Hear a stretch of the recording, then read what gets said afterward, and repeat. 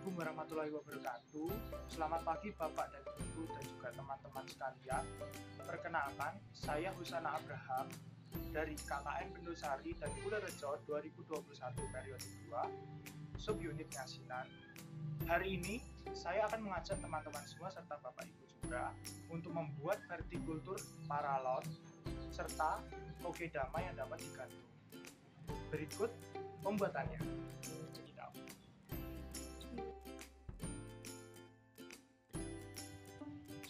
Oke, bahan-bahan yang digunakan adalah paralon, buat dapat berupa paralon bekas maupun paralon baru dengan ukuran sekitar 1 meter. Yang kedua adalah kompor yang akan digunakan untuk memanaskan setiap bolongan yang akan dibuat di paralon. Yang ketiga adalah penggaris yang juga berfungsi sebagai pengukuran, alat pengukuran.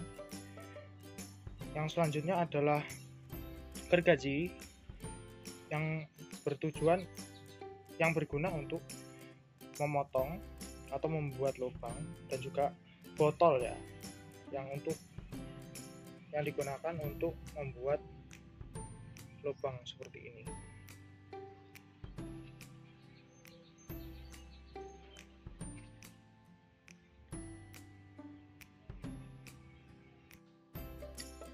Berikut langkah yang dapat digunakan untuk membuat vertikultur paralon. Yang pertama, siapkan alat dan bahan serta kebutuhan yang akan digunakan untuk membuat vertikultur paralon. Yang kedua, lakukan pempolaan dengan tipe pola berselang-seling, yaitu titik pertama diberi jarak 14 cm ataupun 12 cm dari ujung paralon dan titik yang pertama dan titik kedua memiliki jarak sekitar 25 cm. Selanjutnya, kita buat pola lain pada bagian lain di paralon dengan jarak batas paralon atas dengan titik pertama sebesar 25 cm dan jarak titik pertama tersebut dengan titik kedua tetap 25 cm. Sehingga apabila dilakukan pemotongan kecil berbentuk lubang kecil dengan menggunakan gergaji akan terbentuk potongan yang berselang-seling.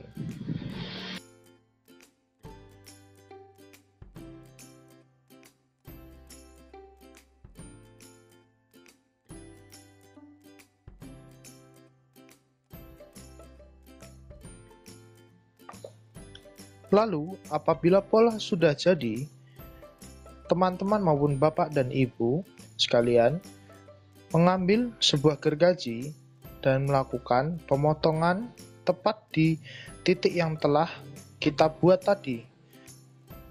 Potonglah sekitar 5 cm sebagai penanda bahwa titik tersebut akan menjadi lubang untuk vertikultur paralon kita.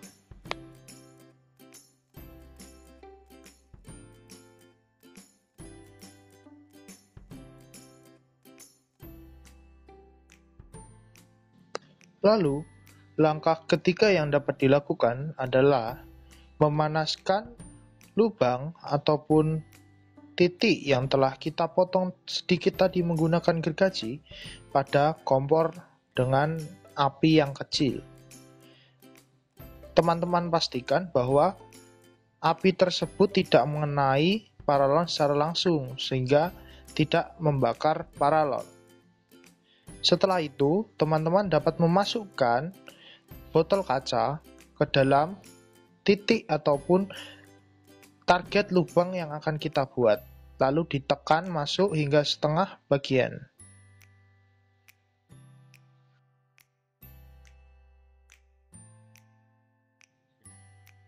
Lalu, apabila berhasil, maka kenampakan dari pipa paralon akan seperti ini.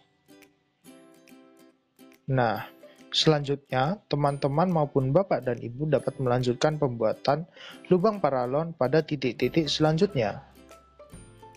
Jangan lupa untuk memanaskan paralon terlebih dahulu dengan api kecil agar lebih mudah untuk ditusuk dengan botol kaca. Oh iya, teman-teman, botol kacanya ditusuk dengan arah di mana mulut botol mengarah ke dalam dari paralon. Setelah masuk, lalu tekan sedikit agar membentuk bibir pada lubang paralon. Apabila sudah dimasukkan, tahan sedikit lebih lama agar bentuk tetap terjaga dengan baik. Apabila teman-teman saat membuat vertikultur paralon ini dalam pembuatan lubangnya belum bagus, dapat dilakukan pemanasan kembali pada target lubang yang akan kita benarkan. Setelah itu, kita masukkan kembali botol kaca seperti tahapan yang sebelumnya.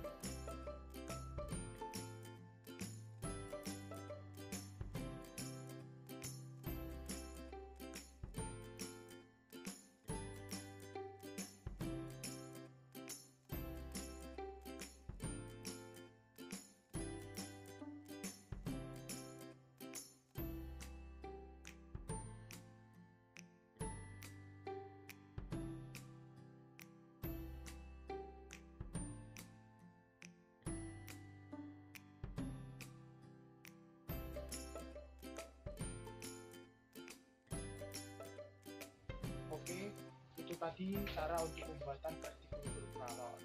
Mari kita lanjutkan ke pembuatan kokedama. Ini adalah pembuatan kokedama. Jadi kokedama adalah tanaman seperti ini ya. Sebuah tanaman dengan pot, pot yang berbentuk bulat. Ini sebetulnya pot ini berasal dari moss dari atau tumbuhan epifit atau lumut-lumutan yang disatukan lalu dibuat bola dengan menambahkan tali di sekitarnya gitu. hari ini kita akan membuat drama dengan bahan-bahan sebagai berikut bahan utamanya adalah tanaman tanaman tanaman lili tanaman spider lily atau lili Paris. Dan juga tanahnya. Lalu ada benang untuk mengikat. Ada cutter. Lalu ada ada mangkok untuk membuat bola. Dan juga ada alas berupa resep atau plastik kresek ya.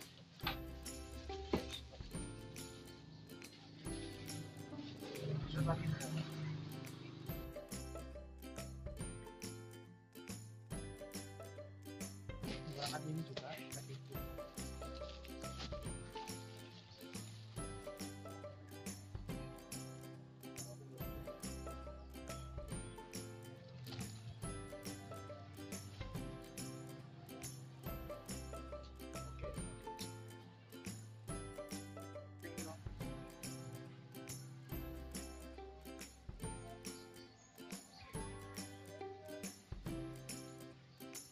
Oke, ini adalah tanaman lili Paris ataupun tanaman spider lily. Digunakan umumnya sebagai alat atau tanaman hias pembersih udara. Oke. Lalu untuk ini ada cabangnya. Ini merupakan anakan dari tanaman lili Paris dan dapat dikembangbiakkan di lahan lain maupun di pot ataupun di hortikultur paralon ya.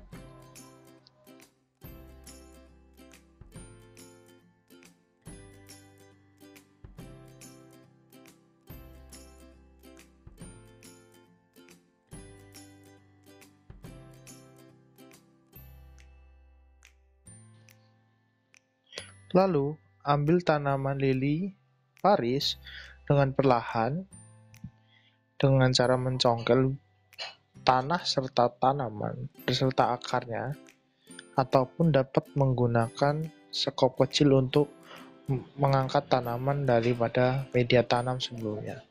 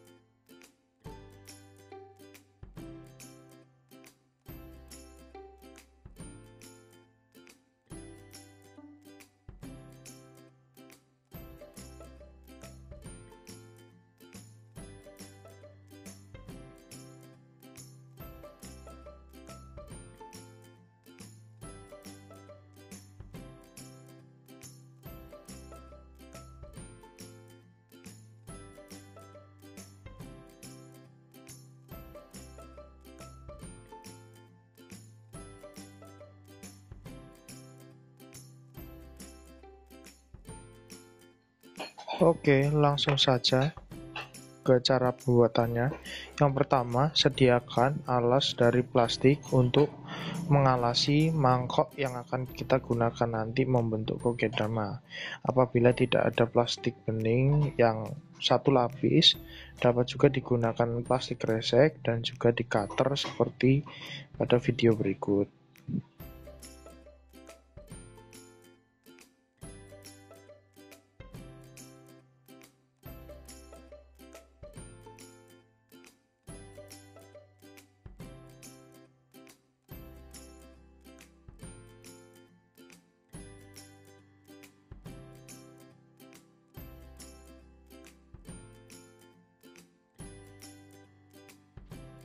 Oke, langkah selanjutnya yang dapat dilakukan setelah plastik alas telah siap serta mangkok yang digunakan untuk kokedama siap adalah memasukkan mouse ataupun lumut ke dalam mangkok dan membentuknya seperti bola. Usahakan menggunakan mouse yang memang memiliki karakteristik berlembar ataupun menyatu ya teman-teman. Jadi lebih memudahkan kita untuk membuat bola dari mouse tersebut. Apabila kita menggunakan mouse yang tidak rekat ataupun terpisah-pisah, maka kokedama akan susah untuk dibuat. Setelah mouse pada mangkok sudah membentuk seperti mangkok itu sendiri ataupun bola, setengah bola, maka teman-teman dapat memasukkan media tanam beserta tanaman ke atas mangkok yang telah berisi mos tadi ya teman-teman. Usahakan media tanam berada di dalam mos, di dalam bagian lingkaran ataupun setengah lingkaran yang dibuat dari mos atau lumut tadi berserta tanaman di titik tengah dari media tanam seperti video berikut.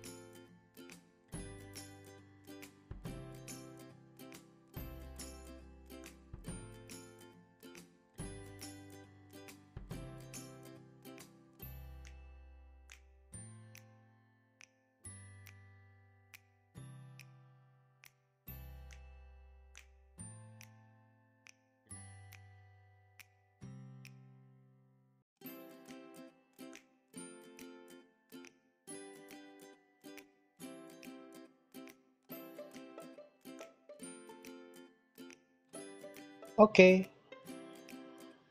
Mouse bagian bawah sudah siap dan juga media serta tanamannya sudah siap. Lalu hal yang bisa kita lakukan adalah memberikan tambahan mouse di atasnya. Di atas media yang kita gunakan ya teman-teman.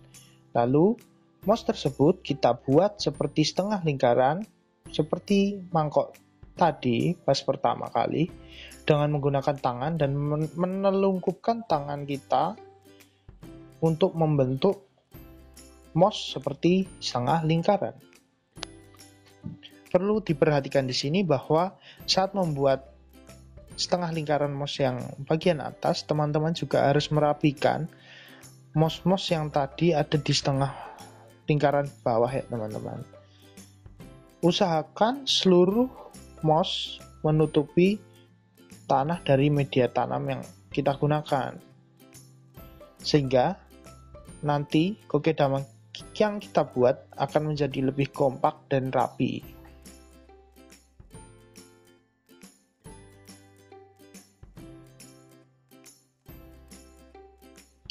Oh iya, setelah semuanya selesai dan terbentuk media tanam serta mos dan juga tanaman yang sudah berbentuk bola namun belum kompak, teman-teman dapat merapikan kokedama ini tadi dengan plastik yang kita gunakan sebagai alas pada mangkok. Teman-teman arahkan plastik ini ke bagian atas ke tanaman, serta lakukan gerakan seperti membuat bola dari tanah ataupun media tanam. Boleh diberikan penekanan, namun jangan terlalu keras, karena apabila penekanan terlalu keras dapat dimungkinkan kokedama tidak akan terbentuk bulat sempurna.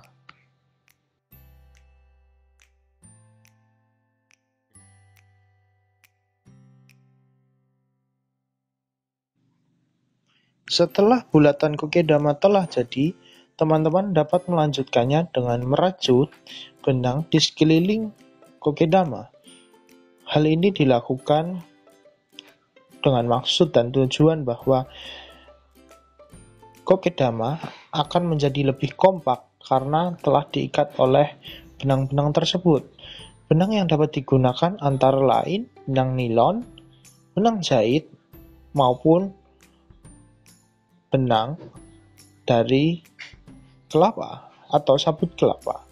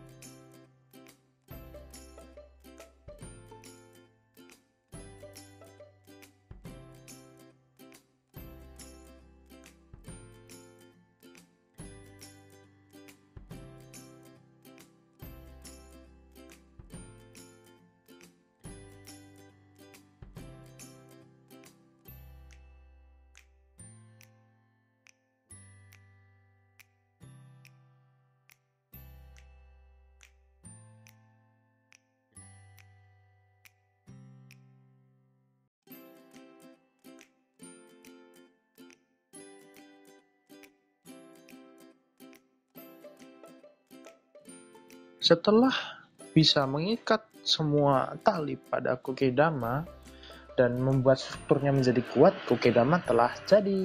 Nah, teman-teman juga opsional nih kalau mau menambahkan tali gantungan pada kokedama, bisa juga menggunakan kawat ataupun dengan tali dari kelapa dan sebagainya. Atau kalau teman-teman ingin membuat vertikultur gabungan nih dari paralon tadi dengan kokedama, teman-teman bisa meletakkan kokedama ini pada bagian atasnya. Keren bukan? Nah, lalu gimana sih cara untuk memberi air pada kokedama? Nah, pertama, teman-teman bisa menyiapkan mangkok maupun wadah tertentu, lalu wadah tersebut diisi dengan air dan kokedama tak milik teman-teman maupun bapak dan ibu-ibu, dimasukkan ke dalam wadah berisi air tersebut dan ditunggu hingga airnya habis apabila kokedama diangkat sudah lebih berat dari sebelumnya, maka airnya sudah meresap pada kokedama dengan baik.